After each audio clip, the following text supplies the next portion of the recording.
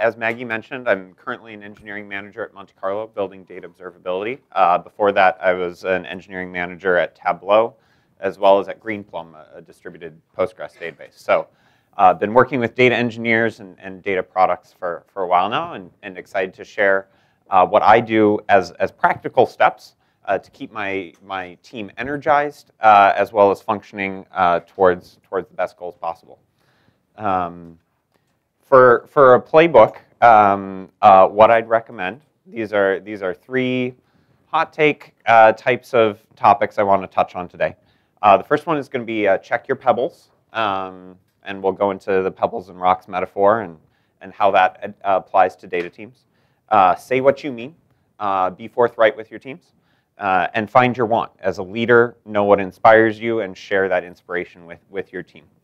Um, but, but first of all, data teams are not like other teams that you might need to be a leader for um, uh, or, or, or want to inspire. Um, data teams are often invisible, right? They're, they're part of the infrastructure uh, supporting your company's broader goals until they're not. until, until the data team uh, causes a bug, there's a bad number in the, in the investor report, or there's a decision made and the data is not flowing, you need to get it right. So you're dealing with a team that feels unloved, but, but you're trying to give them the love and be ready for when you're on the hot seat. Um, you've got a lot of tech debt, uh, especially if you sort of walk into an existing platform, but even as you're evolving and adopting new technologies, there's different parts of your data pipeline that are built in different ways. And, and you can't get away from that even if you imagine, in your best possible case, that you could level set on a perfect platform, you'll still have tech debt, you'll still have maintenance. Um, and, and the people on your team, they've got many different skills and roles. I, I'm sure you probably have job categories like data engineer or analyst or, or things like that. But you've got people who have been engineers in a previous life. You've got people who have worked on the business side in, in a previous life. You've got people who have led a team and used analytics so much when they're leading the team that they actually want data to be their day job. So even if you've got a team that's all one, one type of role, you want to think about the individual skills on your teams. So uh, first I'd like to dive into uh, checking your pebbles. Um, who here's heard of the pebbles, rocks, sand metaphor? Um, the idea is uh, when you think about all the priorities of how you might spend your time in a given week or month or quarter, you could fill up with the sand. You could fill up with the small tasks, the fix-its, the ad hoc requests. Um, but then as you add in the bigger priorities that are of strategic importance to your company and your team, uh, you end up with not enough space. And so as the metaphor goes, uh, First, first priority as a team leader is to prioritize the rocks. If you don't find a way for your team to focus on the rocks, you'll end up with not enough time for, for, for everything to fit. And then your boss and your boss's boss will be like, what, what did you accomplish? What, what did you get done? Um, so rocks that you might have on your team are replatforming to a new warehouse, retiring some legacy things. Maybe you're saving costs. Maybe it's going to be faster. You've got a big initiative. Someone's sponsoring that that you're going to switch. Uh, you could be installing new catalog, new semantic layer, getting this richer, modern approach to understanding data and sharing with the teams around. You could be adding streaming. You could be trying to make things faster in real time. Uh, you could have quality initiative. Oh, we had this issue last quarter, this quarter, we got to make quality better. Um, or, or you could be trying to build data products, building something that actually touches your customer. All of these would be rocks. You could put them on your roadmap you could tell the rest of the company, you could tell your stakeholders, this is what we're prioritizing. And to fulfill sort of the metaphor of rocks-based planning, let's say you've got a team of six people, how do you get two or three people working on a rock in a given quarter? The, the ad hoc requests will keep coming. You just have to tell those people on your team, this is your focus. It's high priority. I'm labeling it high priority. Certainly there are ad hoc requests that seem high priority, but this is what I do in, in my linear sort of task tracking board. If it is aligned with a priority for the quarter, I just mark it high priority and I tell folks, this is your priority. I'll interrupt you later if something comes up, but uh, we're starting with the baseline of the rocks are high priority. However, uh, when it comes to thinking about performance management and thinking about energizing your engineers, a, a, lot is a lot is missing if you only focus on the rocks. You're, you're missing whether your customers and stakeholders are satisfied. They are the people who are using what you built in previous quarters. You have to keep them happy. And, and if you've got some quantitative way of measuring happiness, that's great. Um, but you also just want to stay in touch with them. That's why we do ad hoc requests. That's why we talk with our customers. They tell us to build something, and, uh, and we build it. Um, the other thing to focus on is how efficiently your engineers can deliver. Um, this is never going to be slated in a roadmap. I tell my boss, well, we're gonna we're gonna ship faster, and uh, we won't we won't have uh, outages in the data pipeline if we uh, do this. And he's like, I, I I can't prioritize that. That's your job. So, as as an engineering leader, as a frontline person, whether a tech lead for a team or or or a manager, uh, you want to make sure that your engineers can deliver efficiently.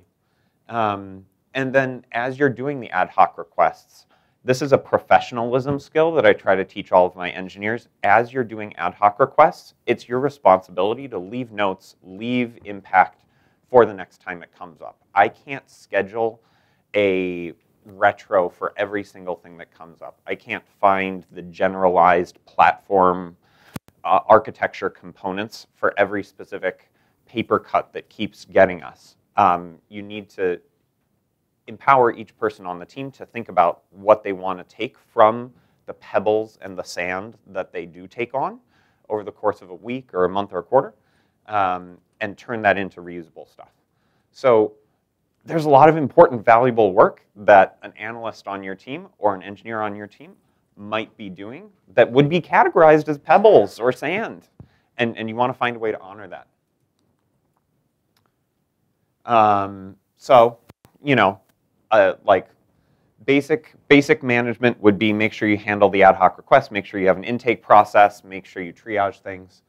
Um, you know, management 101 is make sure you prioritize the big rocks. Talk with your data PM, talk with your stakeholders, know what the roadmap is, prioritize the big rocks. Okay, got on those. More advanced, find a way to make the rocks smaller. As a leader, when we take on these big projects, whether it's replatforming, whether it's a quality initiative, it feels really imposing. And the most valuable thing you can do for the individuals on your team is breaking it down. Um, when the rocks are smaller, you can deliver in smaller increments of value. Uh, we've got a value of ship and iterate. Um, that's, that's amazing. If you can make the rock smaller, that's great.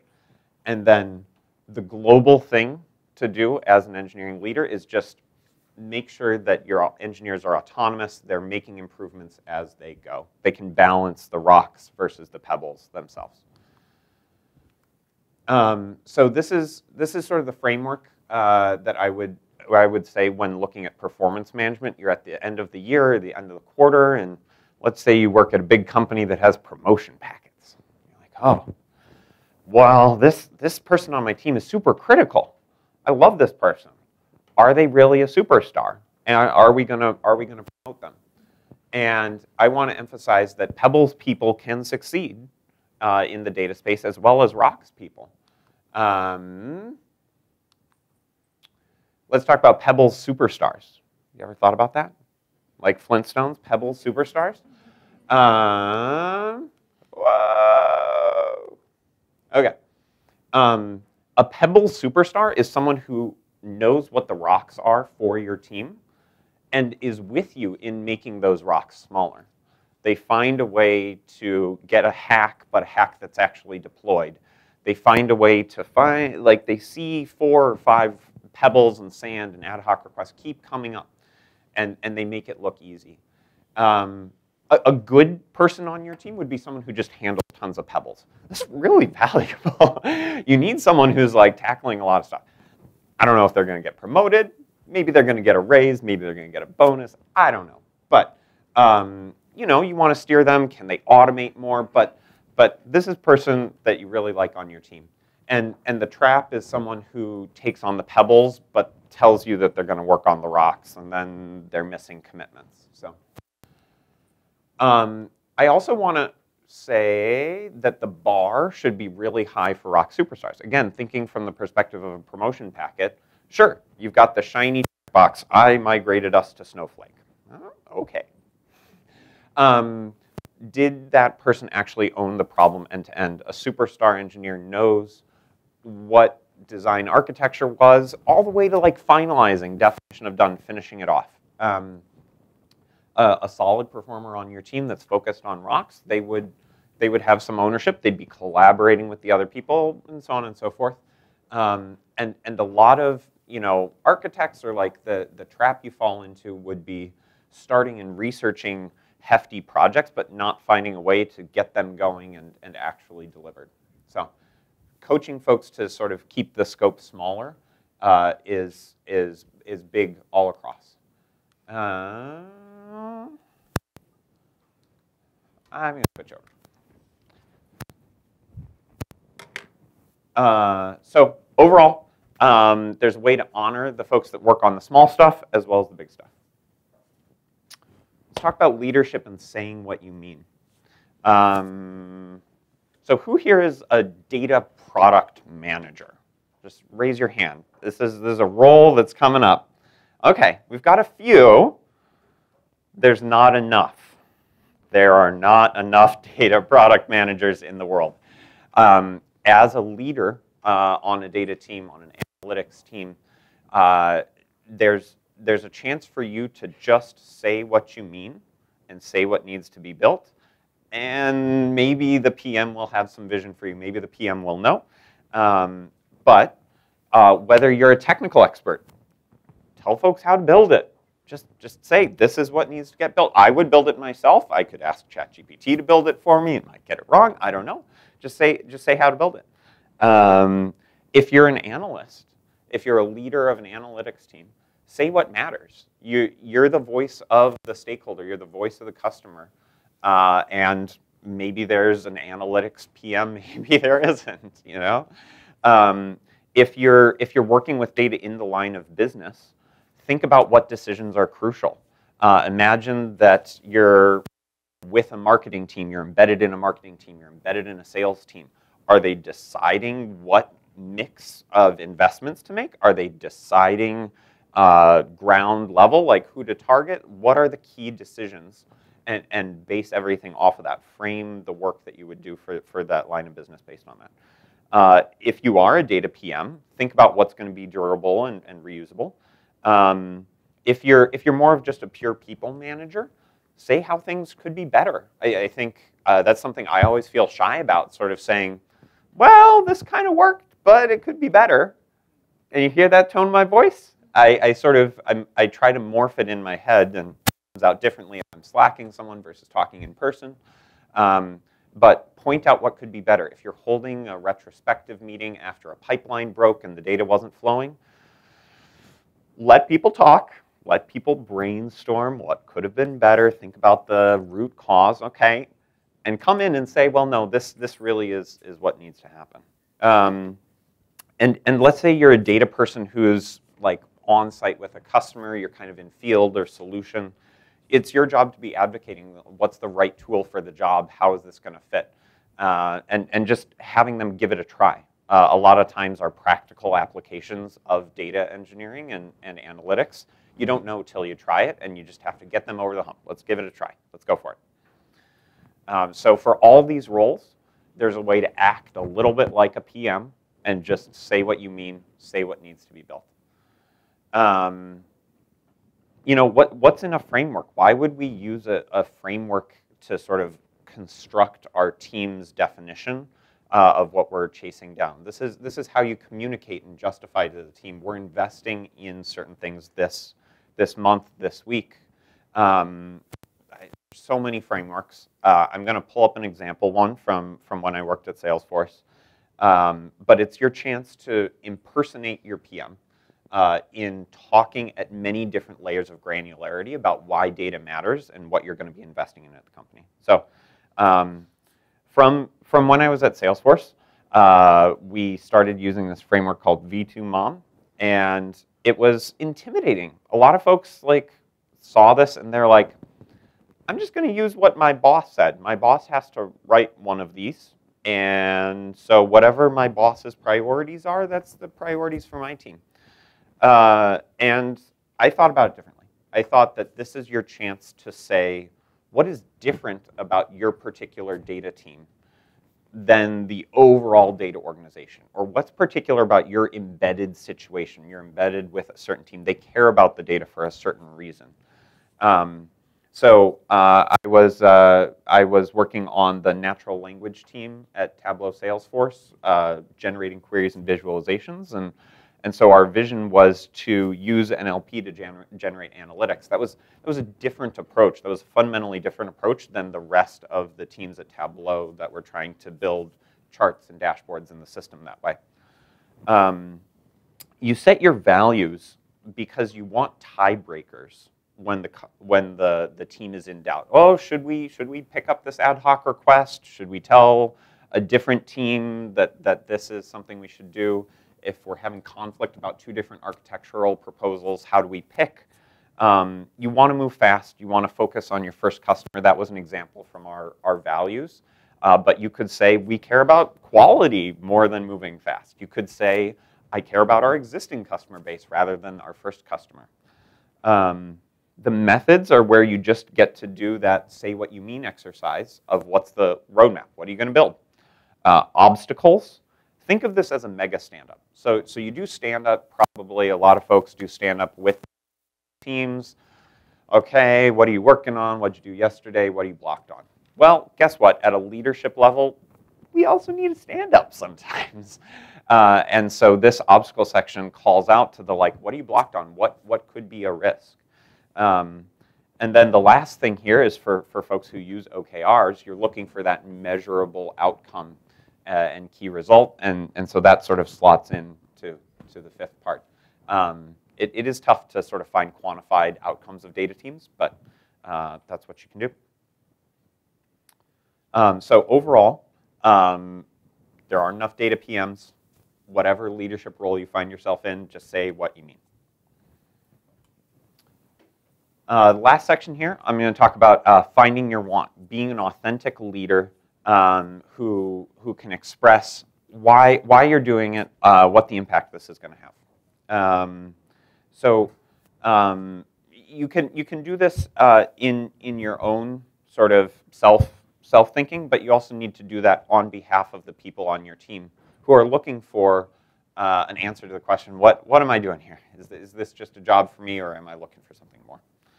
Um, so uh, are folks working on self-serve analytics? Sort of this is a vision. You want, you want to, to help your organization adopt self-serve analytics. What about, what about self-care? Self-care for the data teams. Um, you, you, you, you, want to, you want to have a chance to make sure that the data team understands itself.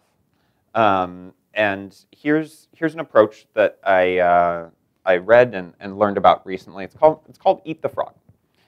Uh, when you are finding what is motivating and you want more out of your career, um, you think about you think about doing your job well. Um, so when I when I took my current job, you know, my job was to build the right thing and and keep the engineering team working well. Um, your day job uh, might be to build dashboards. Your, your day job might be to debug pipelines. And um, you want to do your job well. Uh, and you want to then, if you want uh, more challenges, you want to find the thing that your boss hates doing and do that well. Um, but the trap to avoid is don't do the thing that your boss wants to be doing, but wishes that they had more time for. Um, so uh, if you've got a boss that says, oh man, I wish I wrote more SQL. I. I, I, I haven't written SQL in a while.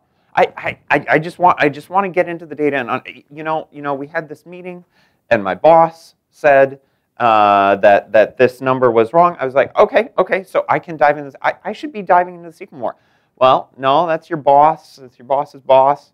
Um, don't don't take that as a sign that that's actually what they want you to be doing. That's that's something they actually would love to be doing, but but they've got other challenges. They've got blockers uh, in their mind. maybe maybe the tough thing for them is building culture and sort of understanding the team around them. Maybe the tough thing for them is talking with customers and finding um, the right stakeholders to, to get input from. Maybe the tough thing for them is researching new um, uh, new components to build. You're finding the right people on the team who it, has got to happen, uh, and and you want to take this over. So, um, but at this point, I'm wondering. This is a little bit of a stretch. I'm wondering if I could get uh, a volunteer from the audience for a quick uh, little um, little example of, of what you're working on. Someone who's like a tech lead or someone who's you know deep in, in their team uh, and uh, working on, on a gnarly problem you kind of want to debug. Does this matter to you? Is this, is this important? Someone have Be an example? shy. Any volunteers? Come on down. Let's get you on the stage. Okay. Howdy, I'm, I'm Hey, CJ. CJ, nice to meet you. Good to meet I'm you. Sean. Hey, Sean. Uh, so, so, so, what are you, what are you working on? What, what would you be doing if you weren't at this conference? I would be doing exactly like you mentioned, like eating the frog. Okay. Uh, we recently just went through a transition and um, unofficially, officially have a new boss. okay. And so the new director is flattening the org chart and working on um, some new roadmaps and some new visions. Okay. And it's not necessarily that clear. And uh, my job description may be changing. Are, are you more in analytics? Are you more in engineering? Are you more in data science? Uh, at certain times over like recent history, it's all three. Okay. But um, I am a staff data architect Yeah. and also a solutions architect, designing a data platform. And I think I'm being moved into focusing primarily on data engineering and infrastructure. Okay. Okay. So what's what's probably going to be a, a big rock or sort of what what what does leadership want to make their mark on on the company with? So big splash, Yeah. uh, increase revenue, decrease costs, Yeah. retain customers. Okay. Okay. Great. Sounds good. Capitalism. Love it. Um, uh, when you it's 4 p.m. and it, it's the end of the day. What's something that you wish you had more time to do? Uh, I think it's taking taking business processes and turning them into technical tasks for you know the people on our team uh, to try to conform more towards like a, a centralized analytics hub that could support both analytics and data science, um, and also try to understand the the contention between that and also building a single source of truth in the sense of bringing all the data in the company into one place. Yep, absolutely. Um, your peer architects, as well as your new boss, old boss, so on and so forth, do they understand this challenge? Would they want to be tackling the same stuff? Uh, peers, uh, not not so many. Okay, okay, okay. Old boss, yes. Yeah, yeah, yeah. yeah. Uh, new boss, I'm not sure. Not sure yet. Yeah, yeah, we're yeah, getting yeah. Okay. What's what's something that you feel like the leadership team always says we should be doing, and they won't, but but no one actually wants to get done? Uh, you know, resolving technical debt and increasing like optimize like efficiencies. Yeah. To get better data quality. Mhm. In order, the way I look at it is in order to um, drive the the vision that they have on creating new data products through data science and and different things that they could unlock unlock with the data. What's uh, what's one specific thing that you might want to do to uh, make that better? What's what's the smallest? If you if you take like a rock around that and you try to make it smaller, what what's a what's a smaller version of that that you actually could tackle and get done? Uh, the smallest piece, uh, just determine the best way to combine two data silos. Oh, yeah. Okay, call them out. Two data data silos. Find a way to combine. Put them. put them together, yes. Sweet. Excellent. Okay. As easiest way. Thank you so much. Thank you so much. Hope it helps. Absolutely. Yeah.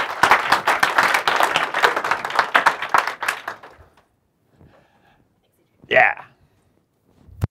Um, so, so overall, you're you're in the mix. You're in the mix of of a tough sort of corporate environment, but you yourself have a passion, and you want to share that with the team. The other folks on your team can feel it, uh, and so if you're authentic with them and open with them, then uh, then they, they pick that up from you and they'd be excited to take that on themselves. Um, so, so to recap, um, three hot takes. Uh, check your pebbles in perf reviews. You want to reward autonomy. Uh, it's okay. You're having a one-on-one with someone on your team. You want to check on how they're doing, talk about the cats, maybe they're a dog person. Eh, just say what you mean. Say what you mean in terms of what needs to get built uh, and, and what the right thing to do is. Uh, and, and team smell uh, if, if you don't find your want. So uh, I want to encourage folks to be authentic uh, in their relationships. Um, here again's the playbook. A uh, bit more links and, and chat on, on my website.